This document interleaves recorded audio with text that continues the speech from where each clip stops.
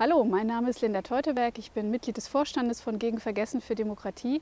Und 70 Jahre nach, dem, nach der Potsdamer Konferenz gibt es Anlass, darüber nachzudenken, was sie eigentlich bedeutet hat für die europäische Nachkriegsordnung und wo kann man besser darüber nachdenken als am Ort des Geschehens. Wir sind hier gerade im Garten hinter dem Truman House. Das war die noch größere weltgeschichtliche Zäsur als 1918. Denn nach 1918 kamen die totalitären Bewegungen in Europa auf, in Russland, in Deutschland und Italien ähm, haben sie die Macht errungen. Und äh, zwei Staaten, die 1917 erst auf der Weltbühne auftauchten, nämlich die Vereinigten Staaten von Amerika und das bolschewistische Russland, blieben erstmal noch in der Peripherie, auch wenn sie Europa beeinflussten. Sie wurden aber im Zweiten Weltkrieg zu Partnern und teilten an dessen Ende Europa zwischen sich auf.